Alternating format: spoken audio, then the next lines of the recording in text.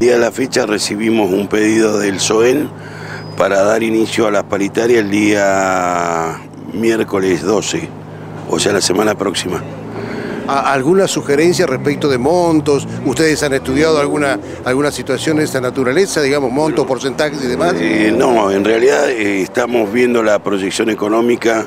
Eh, recién han iniciado los vencimientos de la tarifaria municipal y tenemos que también tener una charla con el Ejecutivo Provincial para ver cómo se va a desarrollar este año el tema de los aportes y qué proyección hay en la coparticipación nacional y, provincial como para poder llegar con una propuesta que realmente se concrete.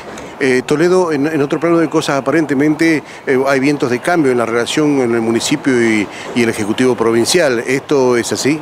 Bueno, mire, nosotros siempre lo hemos manifestado que eh, no, no sé si tiempo de cambio, sino que creo que tiene que haber una apertura al diálogo y la preocupación tiene que ser de todos los santacruceños y ojalá que el eje nación, provincia y, municipio se haga efectivo a partir de estos encuentros que se han comenzado a hacer en distintas áreas. De acuerdo a lo que se perfila, digo, en este, en este tema, el municipio tiene a lo mejor algunas cosas eh, pendientes. ¿Cuál usted ha considerado como ministro político de este gobierno municipal que ha de ser la prioridad para este año 2014? la prioridad, como lo, hemos manifestado, eh, va a estar siempre centrada en el problema más grave que tenemos, que es el de tránsito y sin descuidar ninguna de las otras áreas, yo creo que todas las áreas son importantes.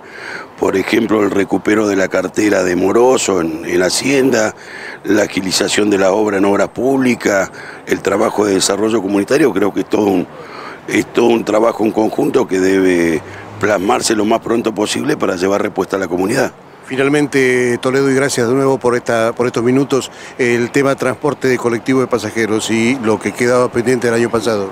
Bueno, el tema de transporte, de, transporte público en general. Eh, tengo el pedido para formar la comisión evaluadora y asesora, eh, tanto los remiseros como los taxistas, y están pidiendo el incremento de tarifas, que el año pasado firmamos un acta que cada seis meses nos íbamos a juntar para que no dejar pasar un año y que después el impacto sea muy significativo en el bolsillo de la gente. De todas maneras, eh, creo que a fin de este mes estaremos reuniéndonos con, estos sectores para ver, eh, mi idea es también que hasta que no tengamos una definición en los salarios tanto de la administración pública como en los municipales, eh, mantengamos las tarifas como están. ¿Las conversaciones van a incluir la licitación de nuevas líneas de transporte? a partir del primero de abril se comienza con toda la ronda de consultas, con una participación de todos los sectores de la comunidad, juntas vecinales. Eh, tenemos que esperar, tenemos que tener en cuenta que esta es una licitación que va a estar en vigencia durante 10 años. Entonces eh, tenemos que hacer las cosas muy conscientemente, hay requerimiento de Industrial 6 para que vaya un colectivo, tenemos que ver bien la localización de la zona franca.